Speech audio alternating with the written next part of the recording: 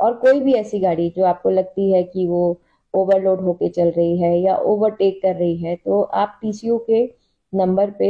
उनके बारे में बता सकते हैं और हम वहीं से ही उनका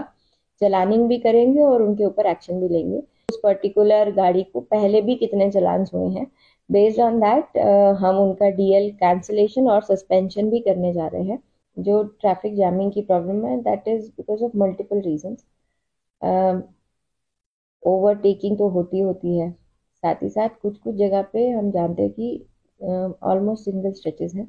तो वहाँ पे रेगुलेट करने में थोड़ी सी हमको देखना पड़ता है स्पेशली मेहाड़ शालगढ़ी, जहाँ पे शूटिंग स्टोन आ रहा है। जब शूटिंग स्टोन एक तरफ़ से आ रहा है, हमने ट्रैफ़िक रुकवाया है तो साइमल्टेनियसली पीछे पाइल अप होता जाता है ट्रैफ़िक और फिर उसका क्लियरेंस वर्क होता है। क्लियरेंस वर्क के बाद हम सिंगल साइड चलाते हैं, क्योंकि वहाँ पे मेहाड़ पे रोड का कंडीशन ऐसा भी नहीं है कि वहाँ पर डबल साइड ट्रैफ़िक साइमल्टेनियसली चल सके। तो जब सिंगल साइड ट्रैफ़िक चला रहे होते हैं तो जो दूसरी साइड है, वहाँ पे पाइलिंग अप होती चली जाती है। और फिर लोग जो है, वो लेन डिसिप्लिन को मेंटेन नहीं करके रखते, कोई ना कोई बीच में से वहाँ ओवरटेक करता है और फिर जब सामने से गाड़ी आती है तो फिर वो चौक हो जाता है। तो मेजर रीज़न जो मुझे दिखाई देता है, वो यही होता है। तो इस चीज़ को प्रिवेंट करने के लिए हम चलानिंग जो है वो काफ़ी ज़्यादा करना हम करते आए हैं, पर अभी इसके ऊपर थोड़ा सा पब्लिक डिसमिनेशन एंड अवेयरनेस साथ ही साथ हम कर रहे हैं। अगर मैं जनवरी की फिगर्स कोट करूँ तो around four thousand five hundred sixty और challan were done in the entire month in January same in December दिसंबर में अराउंड छः हज़ार चलान किए गए थे। अभी पिछले दो दिन के अंदर अंदर हमने अप्रॉक्सीमेटली टू नाइन्टी नाइन हमने करे परसों करे थे और कल हमने अराउंड थ्री फिफ्टी चलान किए। Now we have started seizing the vehicles also जो ग्रॉस uh, वायलेशन में uh, पाई जाती है और जिसकी वजह से जैसे uh, पूरा ही चौक हो गया है उसको पता है कि आगे रास्ता बंद है और फिर भी वो ओवरटेक करते हुए आ रहा है तो हम वो वाली व्हीकल्स को सीधा सीज कर रहे हैं। इसके अलावा ओवर स्पीडिंग में और ओवर लोडिंग में भी चलान जो हैं वो किए जा रहे हैं। And ad advice general public की थोड़ा सा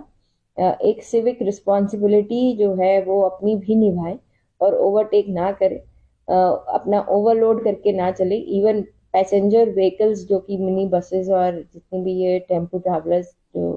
चलते हैं हाईवे पे उनको भी काफ़ी चलान किए जा रहे हैं जिसमें uh, उन्होंने सवारियों को ओवरलोड करके मतलब उनके लाइफ को रिस्क पे डाला हुआ है। तो मैं जनरल लोगों से भी ये रिक्वेस्ट करना चाहूँगी कि कभी भी आपको ऐसी कोई पैसेंजर गाड़ी जिसमें पैसेंजर्स को भरा हुआ है उन्होंने अब अबव देयर कैपेसिटी और कोई भी ऐसी गाड़ी जो आपको लगती है कि वो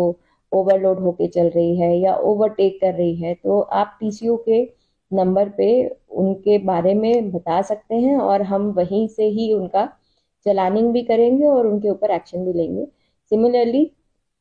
हम, हमारे पास ई चलानिंग जब से आई है, उसके बाद से हमें ये प्रोसेस और इजी हो गया है कि हमें पता चल सके कि उस पर्टिकुलर गाड़ी को पहले भी कितने चलान हुए हैं। बेस्ड ऑन दैट हम उनका डीएल कैंसिलेशन और सस्पेंशन भी करने जा रहे हैं, जो जो कि ऑलरेडी हमने रिकमेंडेशंस कर दी हैं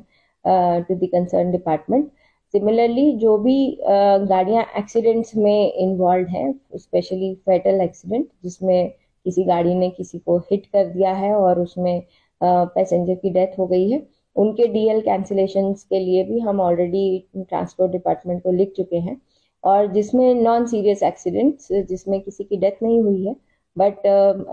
गलती ड्राइवर की है रैशली चला रहा था, या फिर वो ओवरटेक करते हुए किसी को हिट करके गया है तो उसके अंदर उनकी गाड़ियों को सस्पेंशन के लिए लिखा जा चुका है और जिस पे कार्रवाई बहुत ही जल्द होगी।